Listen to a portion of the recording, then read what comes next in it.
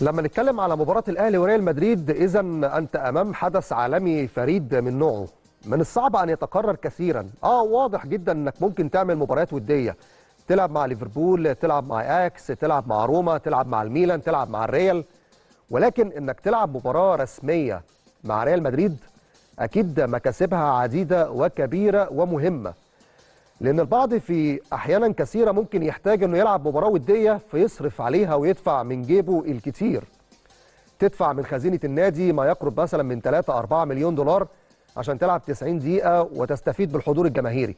ولكن أنت هتلعب مباراة الغد وأنت كسبان من كل النواحي. رعاية تسويق حضور جماهيري علامة تجارية بيتم تعظيم قيمتها ومكانتها وكمان إنك بتلعب مباراة تقدر بعد ما كنت مرشح إنك تاخد 2 2.5 مليون دولار لا رايح في كاتيجوري تاني خالص. ممكن تلعب على الأربعة والخمسة مليون دولار. يعني كمان بتلعب وهتكسب فلوس. ده كل ده بخلاف بقى الجانب المعنوي. يعني الجانب المعنوي في تاريخك لما يتقال لعبت نصف نهائي كأس عالم مع ريال مدريد أكيد حاجة كبيرة جدا.